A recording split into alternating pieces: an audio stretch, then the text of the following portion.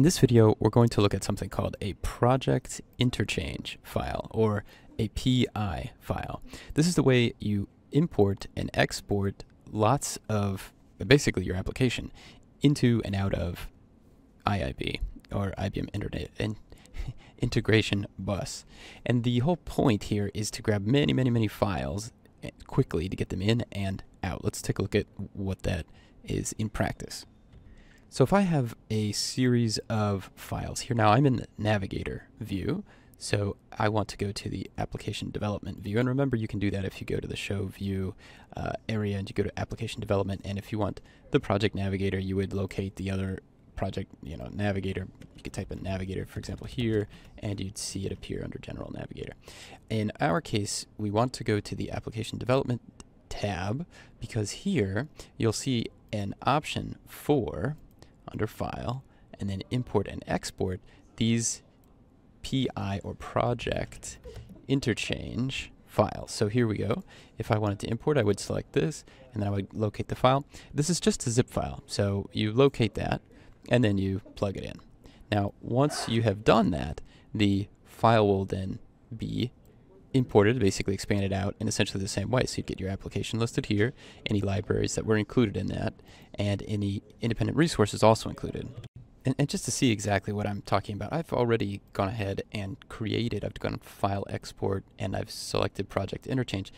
If you open up the zip file, so that's all I've done here, I've just double clicked on my zip file, you can compare the contents here with what you see on the left. So you see the generated bar files. Notice you have a dot project. We talked already in a previous video about projects and packages, and you can see the contents of these, um, you know, of these files. There's the project file, of course, and you see the Java create customer. In this case, that's my application, and then there's a Java piece that goes along with that, and of course that's a package. So that's separate. It's it is on the operating system. It is saved as a separate directory with a series of files. And that's why it's set separately here. So you see the two, they always, by default, will go together. So you, whatever the name of your application is, and then Java will be appended to that. And actually, although you don't see it specifically here, you can locate it by opening up your application, going down to Java, and then sure enough, here it is. And notice too that it is a reference, that's what this arrow is, to Java Create Customer Java, and with the Java expanded on uh, added to the end. And then separately, any libraries. So here's my lib, and that's here. It matches as you can tell.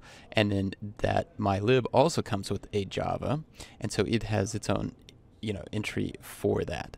And remember, we had talked earlier in the package versus projects video that there is a separation, the distinction between a project and a package and the dot project. We had said that they were packages and projects are sort of a logic, especially projects, are logical representations. And that's why if I right click on flows, for example, there's no properties.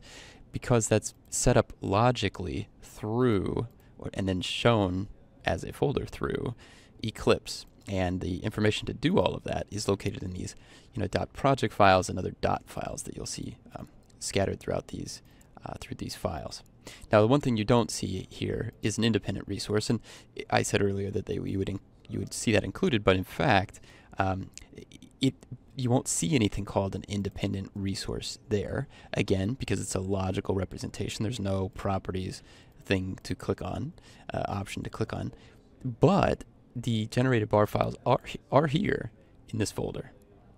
And of course, because this is a zip file, all you have to do is zip, is create it, and you can email it to somebody, and someone else can open it. So this is a, a, a PI file is a project interchange file that lets you move or copy your projects around, and and not just projects, but really your applications and the work you're doing in IIB to other people, and also receive them from other people